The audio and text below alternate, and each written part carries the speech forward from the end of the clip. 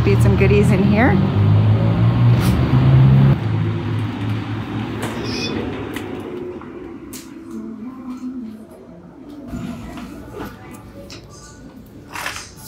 Got a cart. There is a lot of clothes in this one. Let's go to the hard goods. Let's avoid people.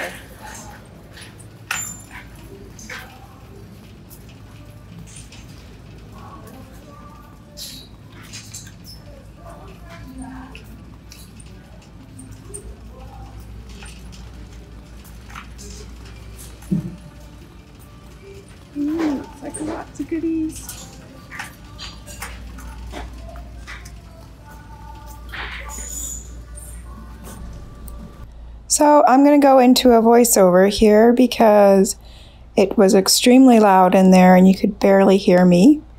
I'm having some technical difficulty with my audio, so I hope you do not mind the voiceover. And there's quite a lot of stuff in the Salvation Army, lots of things on the shelves. But I didn't find anything on that shelf. So I'm going to turn around and look at this other shelf. There's a lot of wood and metal pieces. Spotted a little brass basket there. I'm just looking it over. But I decide to leave it. I have a lot of brass, so I'm being a little bit picky with my brass selections. I have this set already.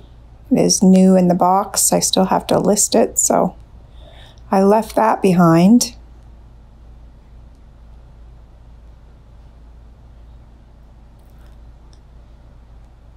And I thought this piece was kind of neat. It looks like a brutalist piece. The top is copper and the bottom is a brass. Really, really thin pieces. I wasn't quite sure what it was for. It looked like possibly a fountain pen could go in the little holder there and almost looked like you could put little pictures in there, but it was only 99 cents, so I decided to put it in my cart. And decided not to grab that piece of brass and check out that piece. I thought maybe it was a teak cutting board, but I wasn't too sure.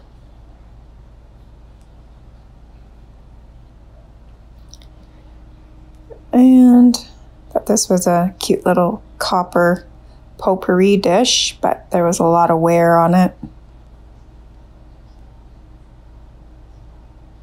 And this is a brass wall planter.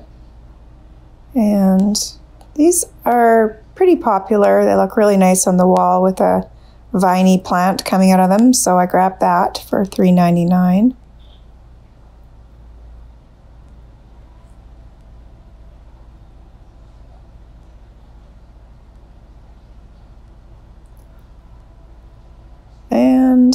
and another piece of brass. And it looks like a bud vase, and I'm not really sure if that piece belongs to that or not. Looks like something you would put a candle out with, but I didn't know if they went together. And this piece, I wasn't really sure what it was. I think there was some pieces missing. Something would have sat in those spots there. And then I found a brass butterfly napkin holder for 99 cents, so I'm definitely going to put that in my cart. I have sold that exact piece in my shop before.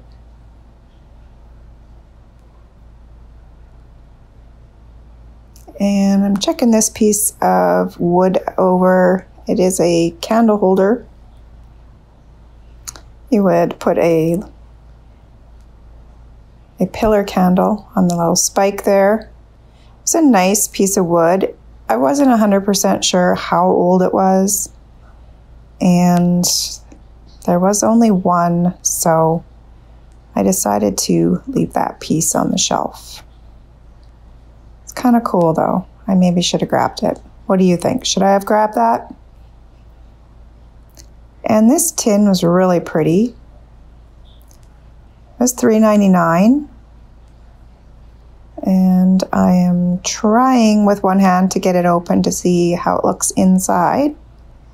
And was not successful, but I do put it in my cart. And I'm going to check it over a little better later on and see if it's a piece that I want to take home with me.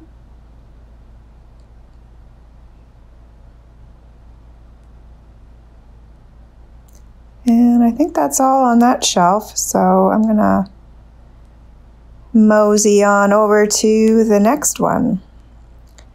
I think that was a whole lot of hand sanitizer.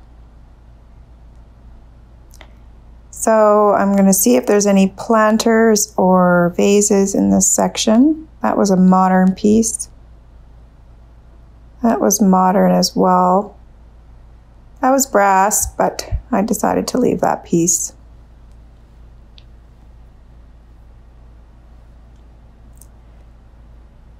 And that, I thought that was a lot heavier than it was. I thought it was going to be a big, heavy piece of pottery. So I picked it up like it was a heavy piece of pottery, and it was a very light piece. I think it was like paper mache or something. I thought it was kind of funny though. Those are modern bud vases. I believe they were made in China.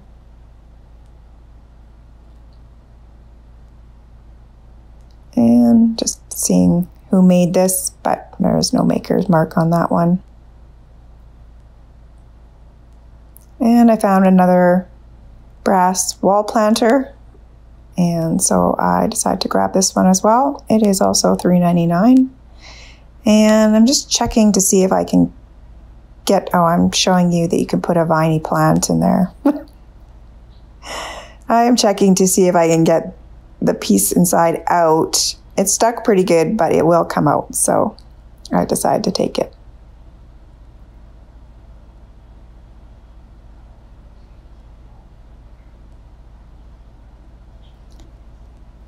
I'm just going to scan over the shelf again, see if there's anything that I missed.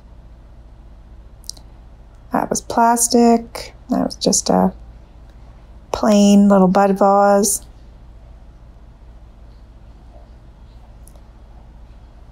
Now, this piece back here, it stumped me at first because it's in with the vases, and so I'm not really sure what it is. Got a hole in the bottom, it's very light. And then I realized that I believe it is a tree topper, and these I think go for pretty good money. Um, it's definitely vintage, I believe. I think it's made out of mercury. I could be wrong, but I decided to leave it because I did not want to travel with that piece. It would likely get broken. And I'm just going to have a peek at these vases in the back. And that one was really light, and this piece was a more modern piece, I believe.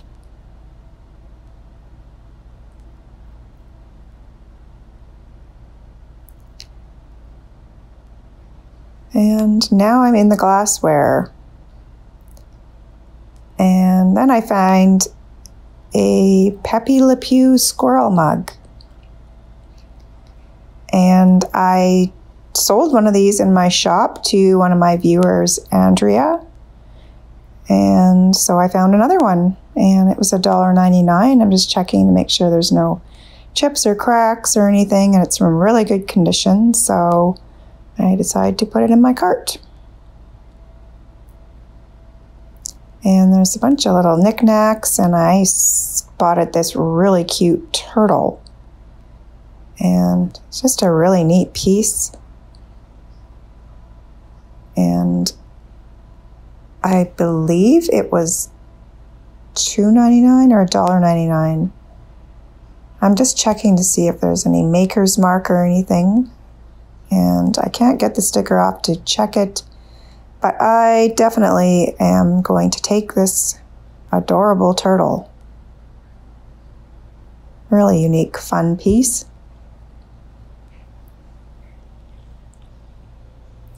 And that was just a faux plant. And then I find some Tonala, and it was an owl. I believe it was $1.99. It is a souvenir piece from Cozumel.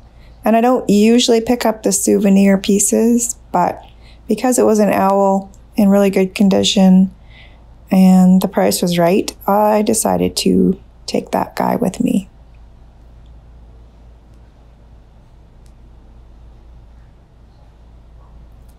Um, let me know if you prefer the voiceovers or if you like the real time thrifting.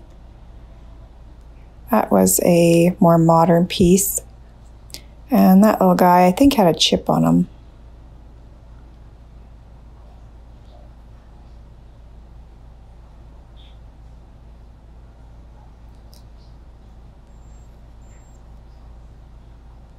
I'm just having a look at this brass cross. And then this box, which I think is absolutely beautiful. It does have a little chip on the corner. And I believe it is made in Italy. It has gold leafing on it. Very old piece.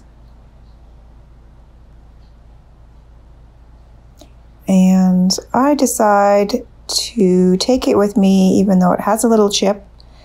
I can always touch it up with some gold leaf, and if anything, I'll keep it for myself. And I believe it was $1.99. The kitty was cute, but I have so many little kitty figurines, I just really don't need any more. That was just a little pottery piece. And I thought this little timer was cute. Looks like a vintage coffee pot. But when I tested it out, you can see it just flings right back. So it did not work. Be a cute little display piece, but I decided to leave it. And this is a hobbyist piece, a mold someone painted. I thought they did a really nice job. Really pretty.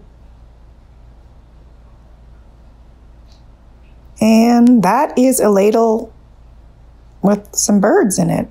Soup ladle. Creative. Soup ladles are not just for soup, you know. And this guy is a cottontail, cotton ball tail. You put cotton balls inside and pull him out his butt. Well, you pull him out his tail, but he was $3.99 and I decide to put him in my cart. I'm just checking him over to make sure that he's in really good condition. And I have sold one of those in my shop before, so I decide to take it with me. And this is just a little brass bird very mid century, modern looking piece. And I think it was $1.99. And so I decided to take it, and I'm looking at this over again because I'm debating whether or not I want to take it for $4. Um, but then I decide, yes, I'm going to take it. and I'm glad I did. It's pretty cute. And this is one lonely rooster salt and pepper shaker for 99 cents. So I decide to rescue that one. And then there's a mother goose, and she's also 99 cents. So I'm going to rescue these two guys and put them in my own collection.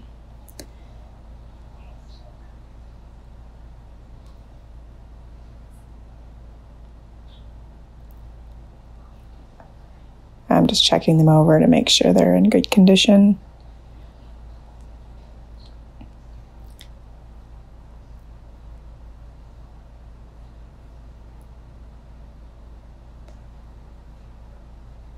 Cute little bears.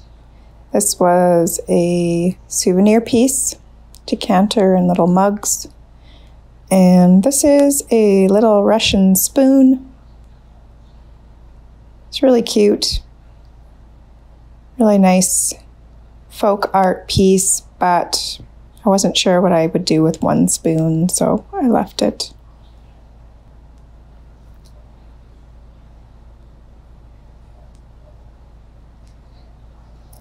And before I forget, um, if you're not already subscribed, be sure to subscribe and hit that little bell button notification.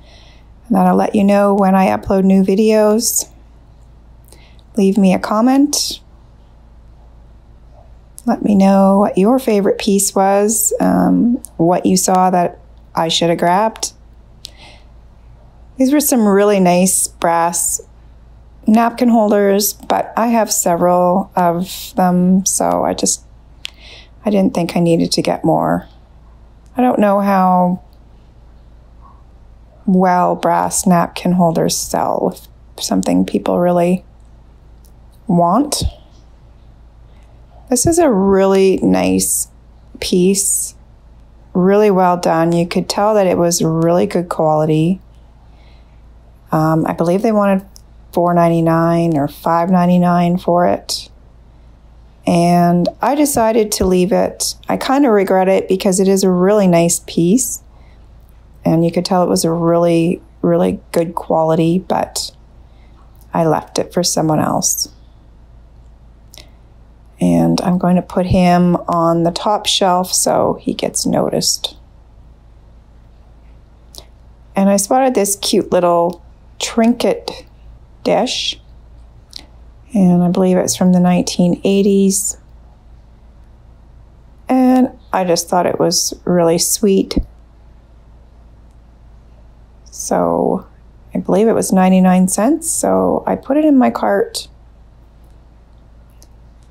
And I can't remember. I think I might have changed my mind and left it because I think there was a chip on the inside.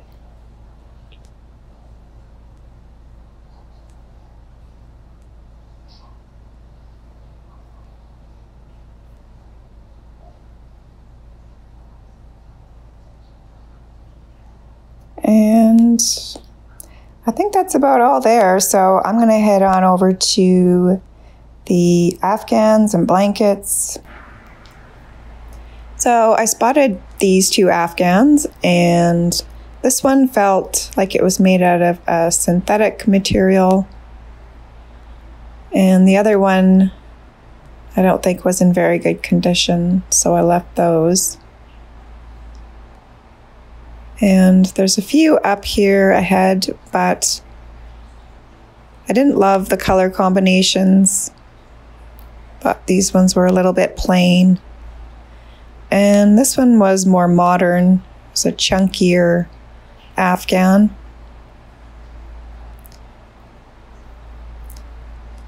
And I spotted a crocheted pillow and I love these pillows, but I didn't love this color combination and it didn't have a really nice feel to it. So I left it. And then I spotted this blanket and I thought it was beautiful. It feels amazing. It's extremely soft.